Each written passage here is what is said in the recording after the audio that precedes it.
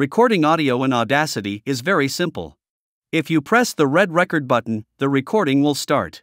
Though the recording is as simple as clicking a button, you have to set all the options correctly before recording. Otherwise, your recording quality will be poor. I will show you the process of getting the best quality recording possible. Go to Audio Setup, and you can configure the necessary options here. The most important configuration is the recording device. You will see all your connected microphones from the recording device. The currently selected microphone will have a tick mark beside it. For me, it is MacBook Pro microphone. If you want any other microphone on the list, click on that, and that will be selected as the recording device. Sometimes, you may not see all your connected microphones in the list. It happens when you attach the microphone while Audacity is open. In such cases, go to Transport and rescan audio devices. You now can see a new option appears Scarlett 2i2 USB. It is the audio interface through which my microphone is connected. If I used a USB mic, I would see the microphone's name. I can select it by clicking on it. Besides microphone, you have to set other things like recording channels. Rather than setting everything one by one from here, you can do that from audio settings. It is more convenient, and all the necessary options are here. It is the playback device settings.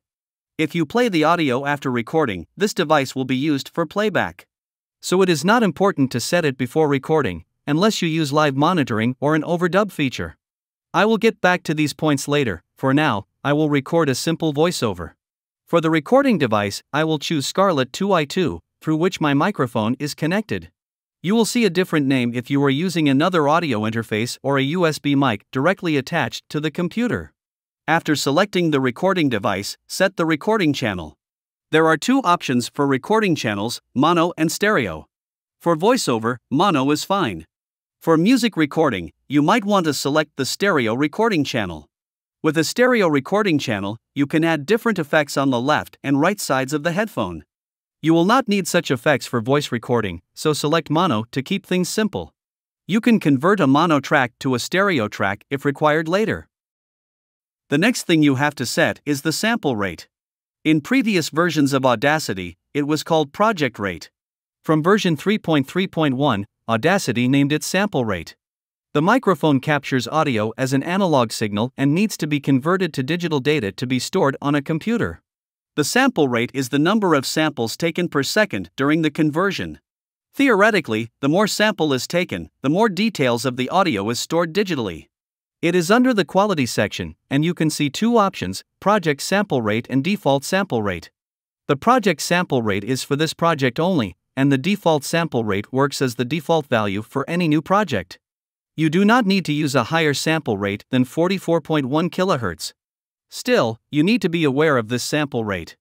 A lower sample rate, like 32 kHz or more down, may fail to capture all the good bits of your recording so you should not choose a lower sample rate like 32 kHz.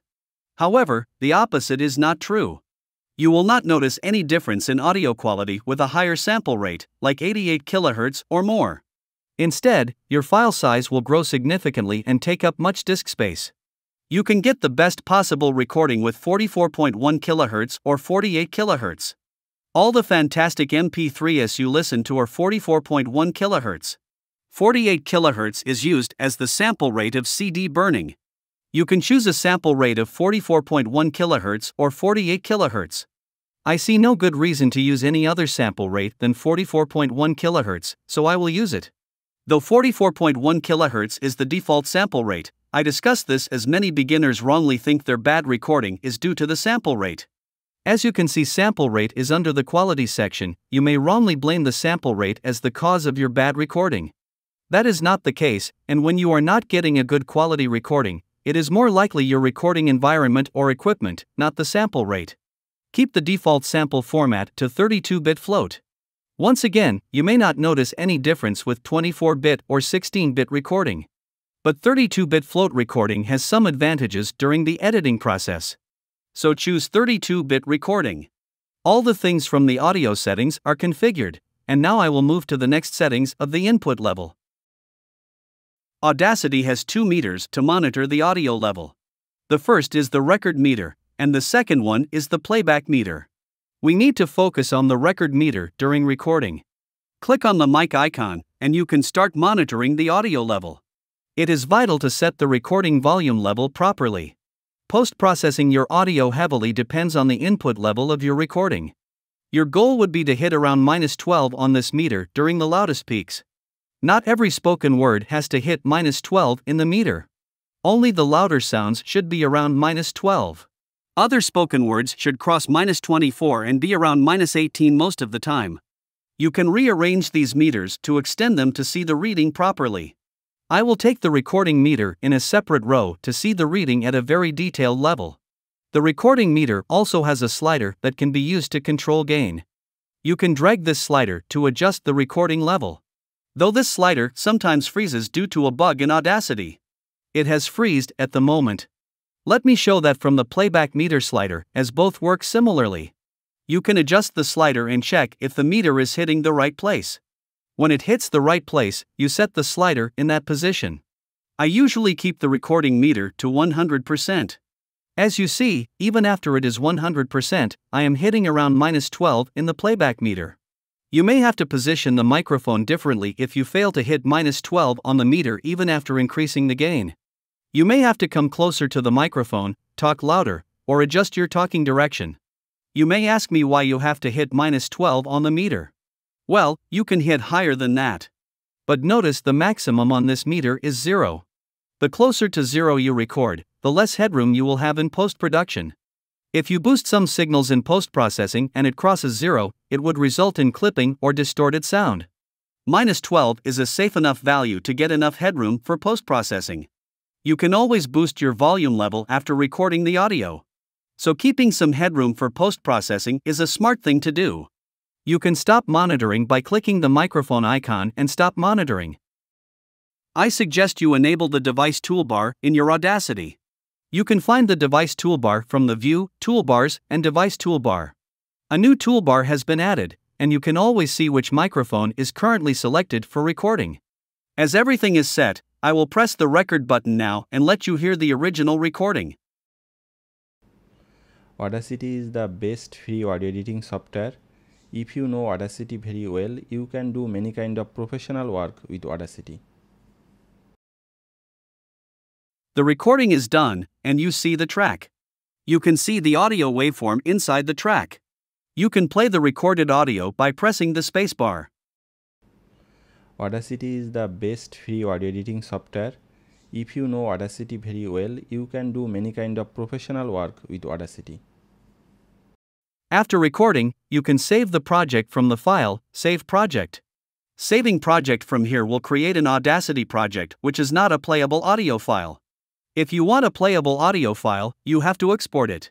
You can export it as MP3, WAV, or other audio file formats. Usually, export is done once you are done editing your audio file. If you want to record another audio track, follow a simple trick. If you press record again after recording audio, a new clip will be added on the same track. It is a new clip but on the same track. To record another track, you have to take playhead to the position where you want to start recording. The black vertical line is the playhead, and I will move it here. If I mouse over the record button, you can see the shortcut to record in the new track, Shift R. As I pressed Shift R, it started recording a new track. now this is going to be recorded in a new track and this is the way I will end this video with two options from Transport. If you want live monitoring of your audio, that means listening to the audio as you record, you have to make software playthrough on. For me, it is off as I do not live monitor during recording. Overdub works with multiple tracks. If you record another track but want to listen to the other tracks while you record, you have to turn on overdub. As you see no tick mark beside those settings, it means those settings are off for me. After watching this video, you should practice what you have learned. After that, watch the video in the description about audio editing basics in Audacity. Thanks for watching and see you next.